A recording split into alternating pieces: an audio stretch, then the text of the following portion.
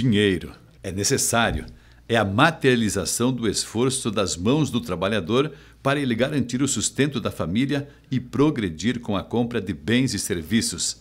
Mas se de um período ao outro ele não compra mais a mesma quantia de bens e serviços que conseguia com o salário, algo está errado. É a chamada inflação. Toda vez que acontece inflação, o nosso poder aquisitivo diminui. Aquilo que nós podemos comprar com o mesmo dinheiro, com a mesma renda anterior, é diminuído. A economista Iliane Duarte, do Centro Universitário Mater Dei, explica outra palavra que passou a fazer parte do dia a dia – taxa Selic. A taxa Selic é uma taxa básica de toda a programação de juros da nossa economia.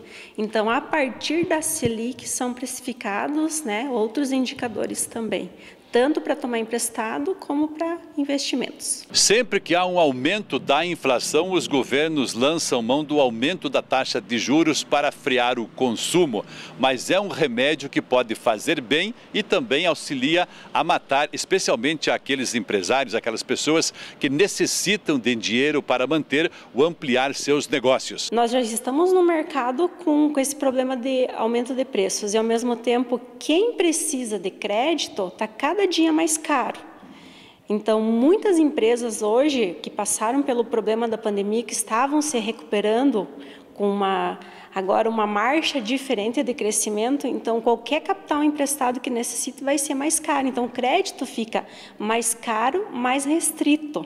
O problema é que as causas de inflação não são apenas internas, tem fatores externos. Nós temos commodities aumentando, nós temos os reflexos da guerra da, da, da Rússia e da Ucrânia, nós temos uma nova onda da Covid-19 na China. Então, lá já tem estoques esgotando novamente da base alimentar, em outros lugares, começando também né, pelos lockdowns. Então, isso traz reflexo no movimento econômico mundial, não só brasileiro. Então, a Selic ajuda, mas ela não está sendo remédio da inflação, do aumento de preços aqui no Brasil. Quando há aumento dos juros, uma das vantagens é a entrada de capital estrangeiro aqui no Brasil para ganhar com as taxas elevadas. Mas os Estados Unidos também elevaram a taxa básica em meio por cento. E essa medida atrai investidores que estavam no Brasil. Desde maio de 2020, que a taxa dos Estados Unidos estava em meio ponto, hoje é 1%. No Brasil, nós já temos 10, né, em um ano e pouquinho, 10 pontos percentuais de aumento. É uma taxa bem diferente. Mas o que, que fica mais atraente? Né? Quem vai investir? Investir em dólar, ganhar em dólar ou, ou ganhar em real, né? Então, acaba movimentando, nos forçando a segurar os investidores no Brasil, trazer dólar, que nós precisamos ter a valorização da nossa moeda também, com toda a entrada de dólar acontecendo.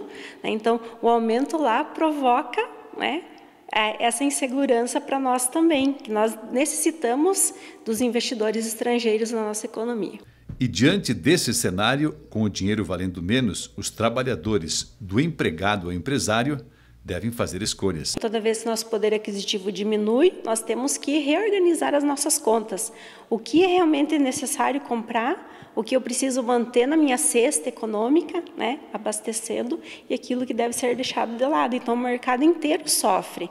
É, a projeção do PIB já teve um novo olhar com essa tendência de continuidade da elevação das taxas de juros, porque o mercado não consegue trabalhar bem quando tem essa força direta dizendo, é, os bancos alertando, coloca o dinheiro aqui e não no negócio, que aqui você ganha mais, aqui tem o menos risco, e se você colocar aqui, tem risco, porque o consumo está diminuindo, você tem folha de pagamento, você tem competição no mercado, então isso você vai precisa analisar oportunidade e o risco.